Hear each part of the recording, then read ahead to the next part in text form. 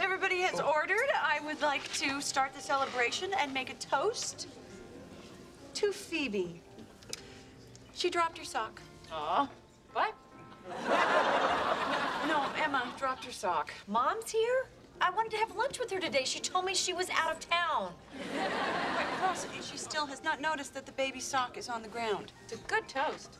Emma, will you please get her attention? Oh, Mommy? Oh,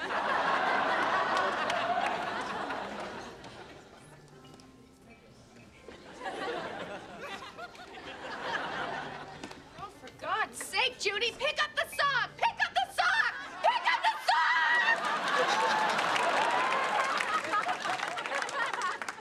I'm sorry, was that rude?